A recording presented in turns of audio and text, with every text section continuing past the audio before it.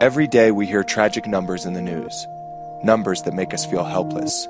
The death toll could rise as high as 100,000. 45,000 to 50,000 people were killed. 13 million are facing severe hunger. 12 million people need emergency aid. Heavy monsoon rains have affected at least 5 million people across the country. 3 million people may have been affected by the quake. But what do these numbers really mean? They are often so big they don't feel real. But they are real, and these big numbers are made up of individual stories and individual lives. This is the story of one number, one life, and one extraordinary boy named Joseph. This is also the story of a humanitarian and environmental scandal that could have been avoided. The death toll from a cholera outbreak in Haiti passed 200 tonight, and thousands more are sick. Patients overwhelmed a hospital in the port city of St. Mark's seeking treatment. The source of the outbreak is not yet confirmed. I raced this guy up here and he just died now. As I came to the gate, they told him no. Reports of new cases are emerging in towns 50 miles from the outbreak zone. Some reports say victims have died in as little as four hours. Health workers are rushing medication, clean water, and hygiene supplies to the affected region. This outbreak is likely to uh, get much larger. Tens of thousands of survivors of the devastating earthquake are vulnerable. They're still living in crowded tent cities in and around Port-au-Prince with poor sanitation and little access to clean drinking water.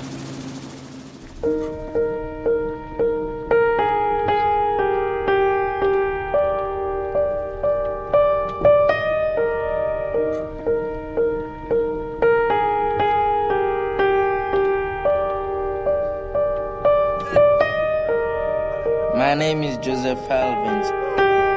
I am from Haiti. I love baseball.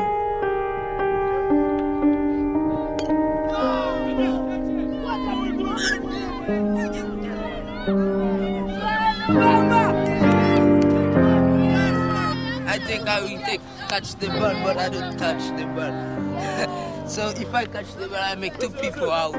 But so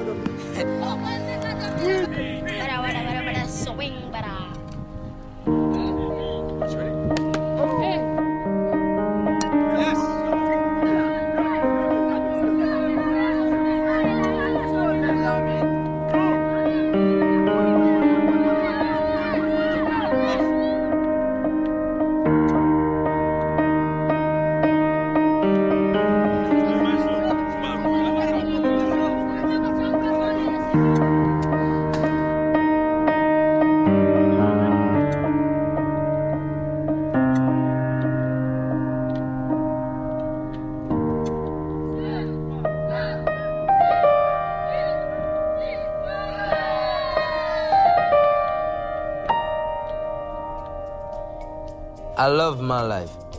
In the afternoon, I play baseball. In the morning, I go to school in Port-au-Prince.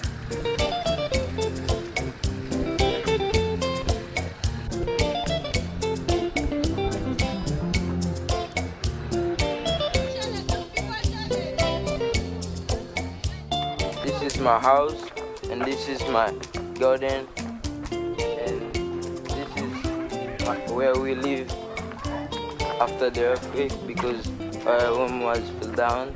This is my father, and this is my last sister Cindy.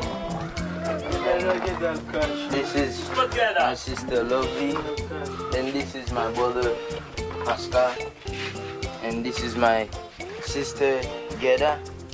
This is my mom. She make beautiful jelly to spare her family. Sometimes we cook here, we make some food here. That's just some kitchen for us. And this is our bathroom.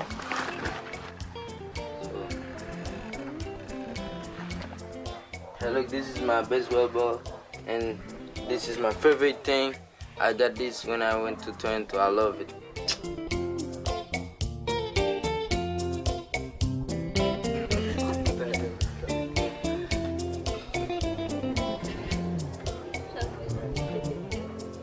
I wear this in my house because I love my life. We have these posters. It teach you how to don't get cholera. Wash your hand. Drink clean water. Watch all the thing before eat. Put the purple on Latin only.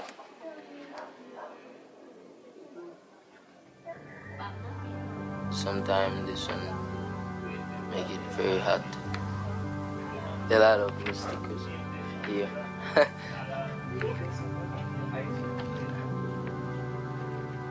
A lot of mosquitoes. Eleven people live in this house with me.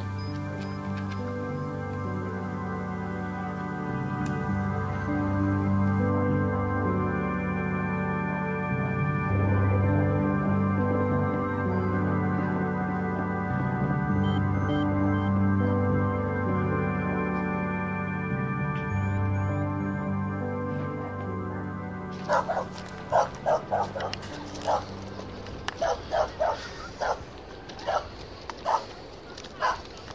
where we get water.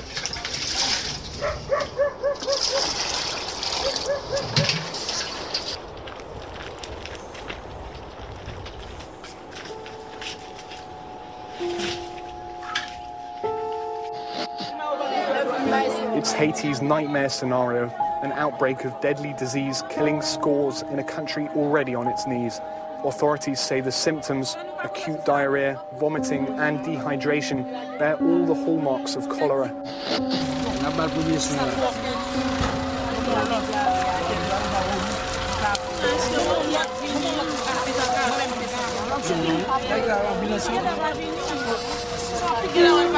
Her, her husband died last night, and this is her daughter. So we're, trying, we're just getting her on an IV, and then we're, we're going to the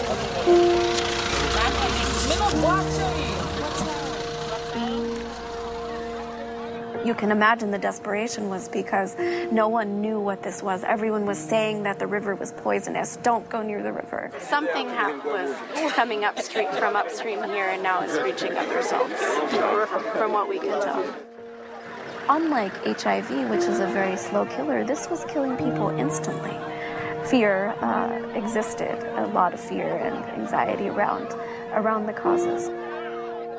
The most kind of vivid memories are just everyone trying to find water and not wanting to to drink the river water that was on the side. People were so desperate for getting clean water. It, it, it, it got me. It really got me. And I think what got me the most was the fear.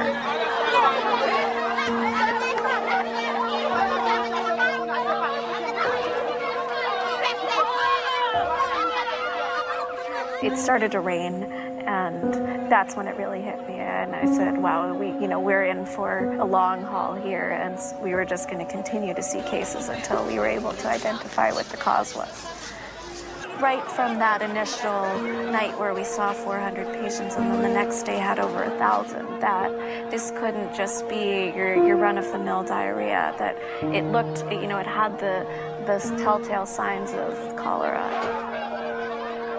If someone is with cholera is defecating and, and it somehow gets into a river system, it's easily able to then be transmitted quickly. The Artibonite River is the largest river in Haiti, but it's also the breadbasket where most people are, are living off the land farming.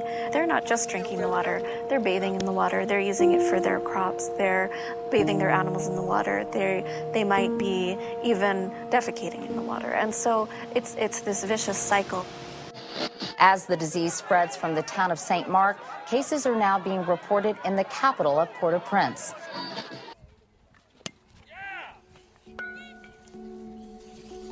We built this field. We are the first little league in Haiti. And we get better every day. That's Jeff. That's Mookie. That's crazy. That's Jaffney.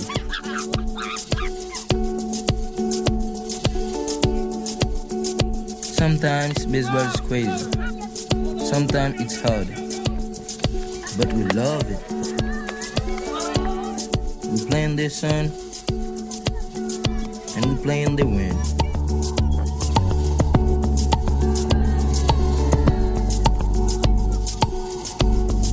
That's Jason. We thought it's our country. That she love, he love baseball.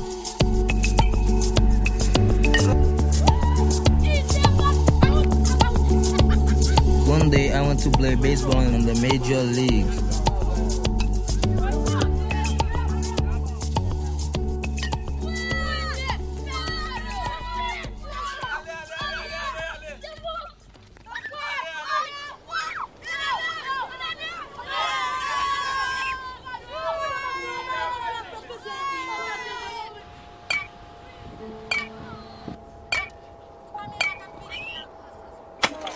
UN soldiers working furiously to contain what looks like a sewage spill at this base in Haiti's rural heartland.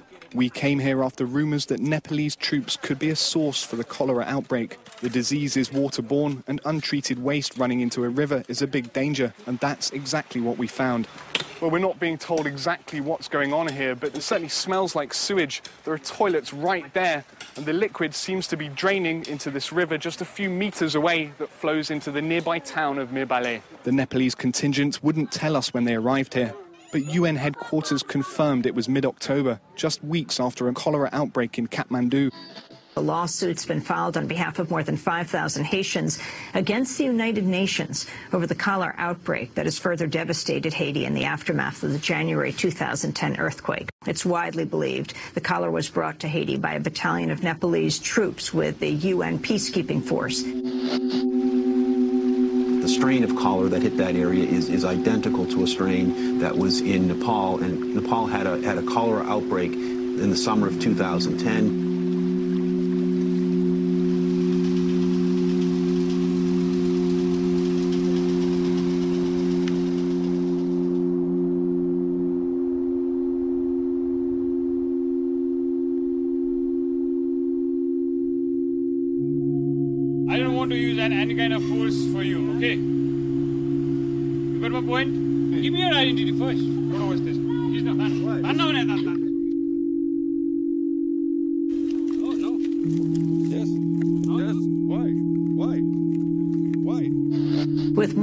5% of the population sickened during the outbreak, it's believed Haiti now has the highest rate of cholera in the world.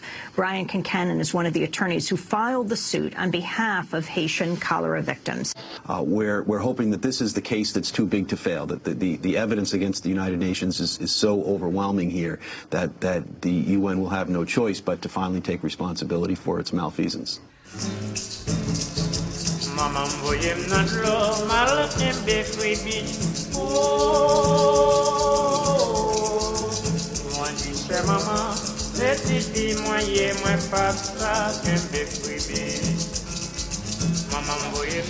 I'm now in Semak. I'm working with some a group of human rights to ask for justice and reparations for the victims of cholera. The victims who have been killed, victims who have been injured.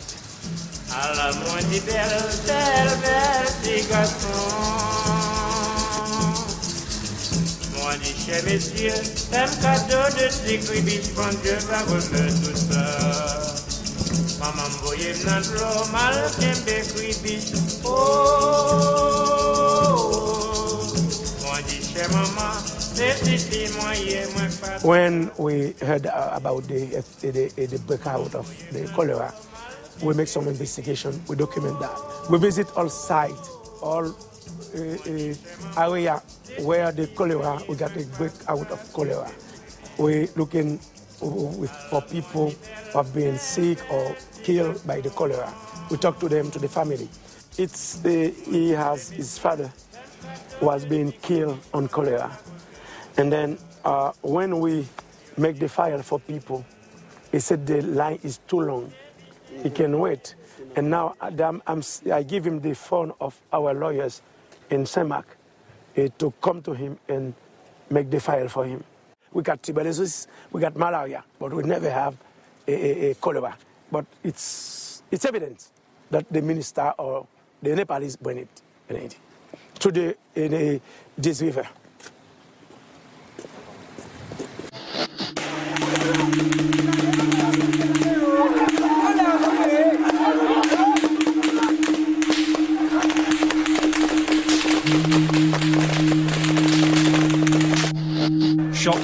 On the streets of Haiti as anger over a horrific outbreak of cholera reaches boiling point. Locals blame the UN troops like these Nepalese soldiers for the outbreak. Demonstrations have seen crowds take to the streets, using burning tires as roadblocks. In the northern port city of Cap Haitien, two people were killed when UN soldiers exchanged gunfire with protesters. Others have been hurt in similar shows of anger around the Caribbean island. The thought that the very foreign visitors who were supposed to be helping Haitians may have brought this affliction to the island is almost too painful to contemplate. Nou gen Nepal nan peyi nou, se yo menm ki vin avey. Se pi yo ale avey. Ou dan de samzou, vaksin se yo da bay Nepal la, se pi yo bay li tou. Na fout yo ale. Yo nan moule, se yo ba bay li, an pil moun nan moui. Yo menm nan moui, nou menm nan moui, nou konen nan moui deja. In Cap Haitien, we are in the country. We got the resistance of people who, who ask, who ask the MINUSTAH to out the country.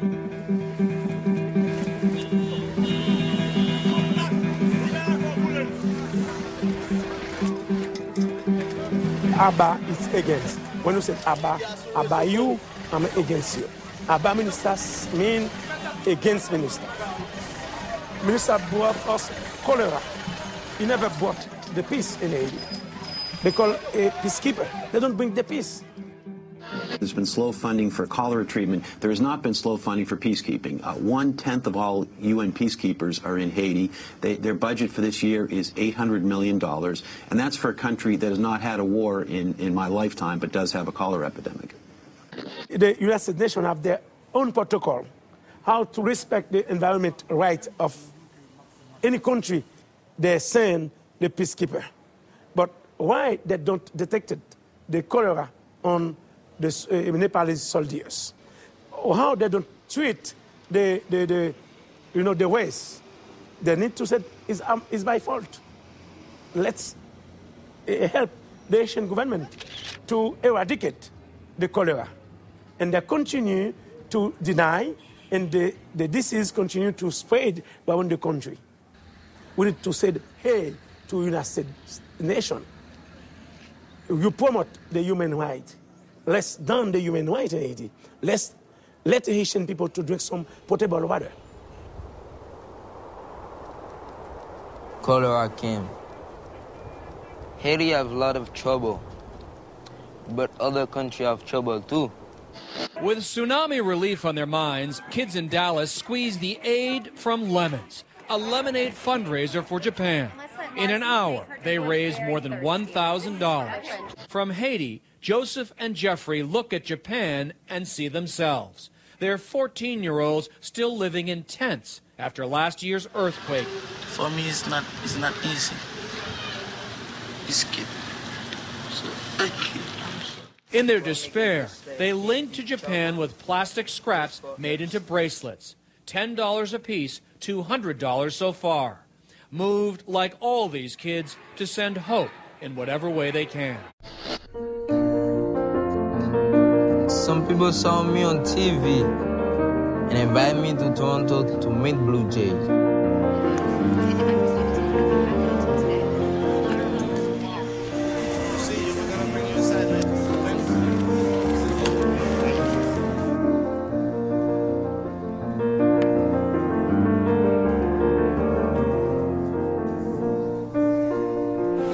I like this city. We work everywhere.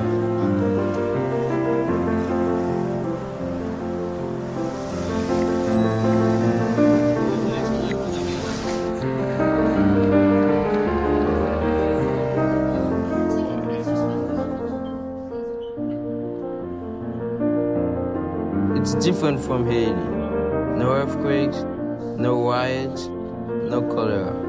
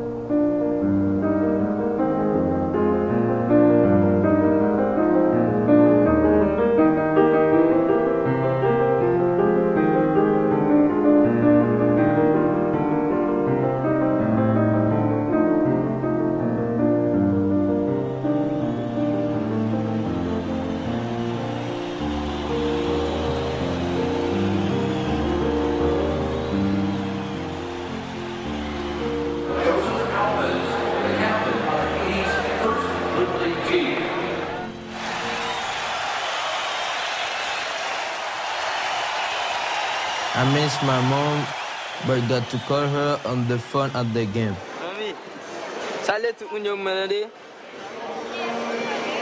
Salye tout moun yo net la kala. Salye papa menede, tout si moun yo net. Sel sa peyi a fe fret. Uh-huh. El fe Jom nan am fwet la an vil la eh? e. Mge chanday, eh? mbo kometel.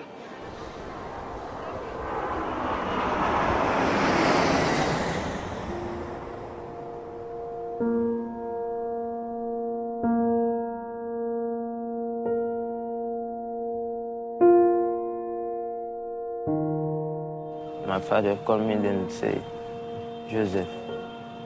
Your, fa- your mother have cholera. You don't think what we can do if you have friend to have car to bring her to the hospital?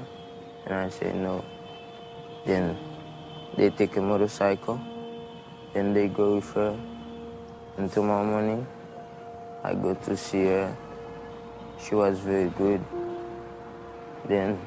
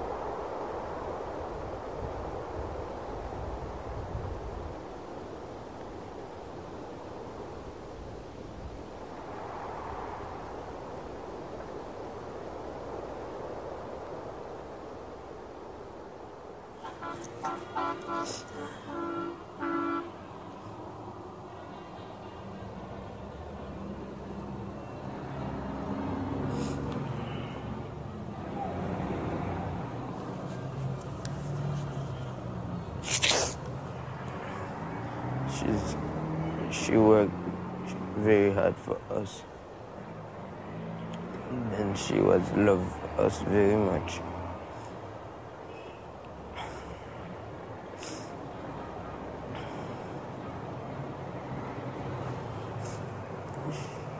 She will stay in my heart forever.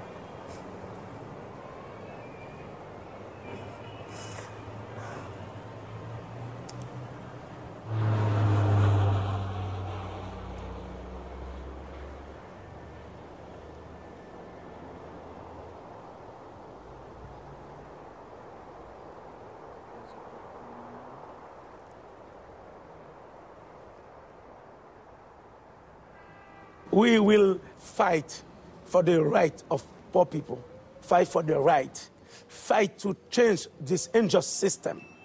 I'm not afraid. We said in Haiti, victoire c'est pour peuple. The victory is for poor, is for, for the people. We believe in that. All the time, the, the people in Haiti has the, the victory. We got a victory in 1803 and a huge, a big army from France, the Napoleon army. We got the victory. We defeat a lot of dictatorship like Duvalier, I think the victory is on our side. But we need to keep going and make the struggle and make the fight. I'm really confident we'll win this process. Uh, and, and then, not only for Haiti, not for Haiti, this will be for the other poor country. It's a fight of the world.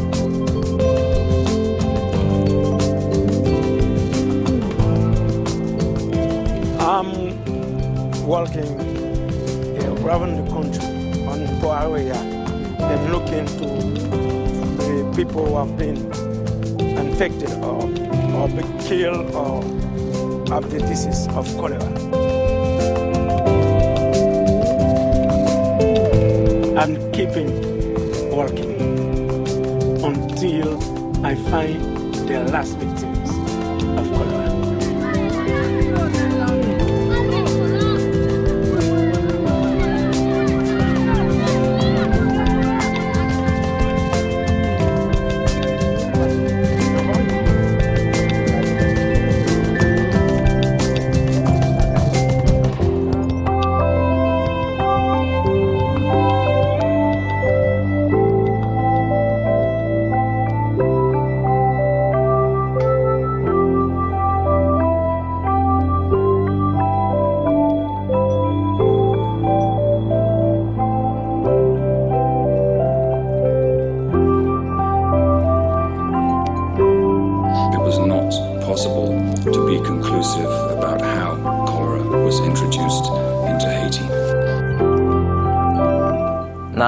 Seen my story. Please help me end cholera in Haiti. Let's tell the UNs they must end this crisis.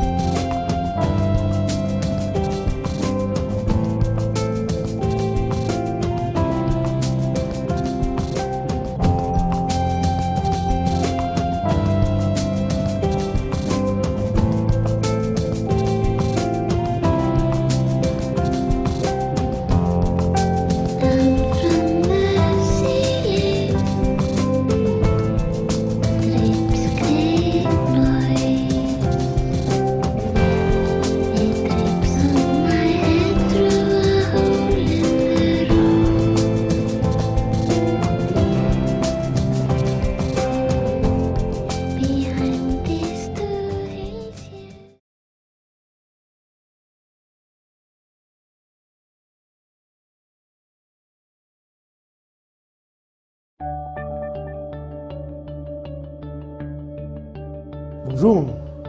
I am Mario Joseph, managing attorney at the Bureau des Avocats Internationaux. I would like to thank you for coming to watch baseball in the time of cholera. Cholera keeps killing. A expert said it will be between two and 4,000 Haitians this year. It will kill children like Joseph and his friend.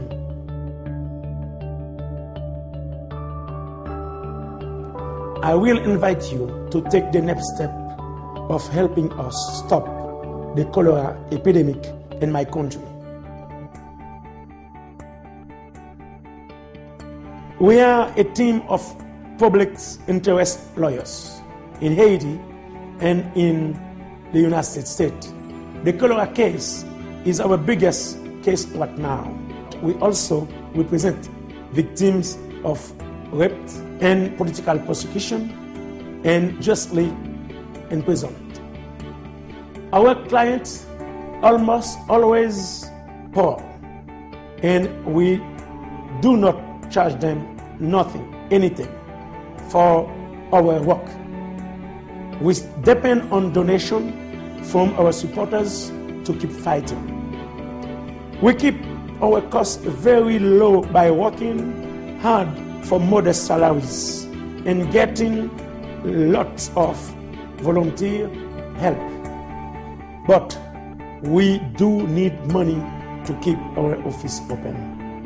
To travel to the remote area where our cholera clients live and to document the cases. The cholera case is particularly expensive because we represent 5,000 uh, clients so far. Even modest fees for notarizing documents and add up quickly when multiplied by 5,000.